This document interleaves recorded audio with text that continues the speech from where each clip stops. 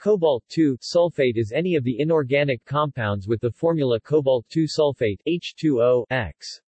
Usually cobalt sulfate refers to the hydrate COSO 4.7H2O, which is one of the most commonly available salts of cobalt. Properties, preparation, and structure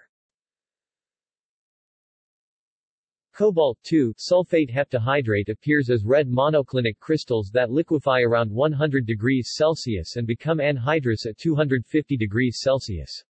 It is soluble in water, slightly soluble in ethanol, and especially soluble in methanol. The salts are paramagnetic. It forms by the reaction of metallic cobalt, its oxide, hydroxide, or carbonate with aqueous sulfuric acid. The hexahydrate is a metal-aquo complex consisting of octahedral Co H2O 6 2 plus ions associated with sulfate anions. Uses Cobalt is obtained from ores via the sulfate in many cases. Hydrated cobalt-2 sulfate is used in the preparation of pigments, as well as in the manufacture of other cobalt salts. Cobalt pigment is used in porcelains and glass. Cobalt-2 sulfate is used in storage batteries and electroplating baths, sympathetic inks, and as an additive to soils and animal feeds.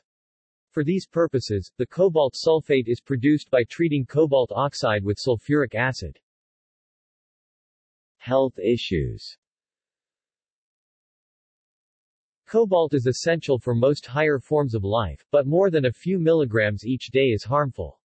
Rarely have poisonings resulted from cobalt compounds. Upon inhalation of salts, there is some evidence for carcinogenicity. See also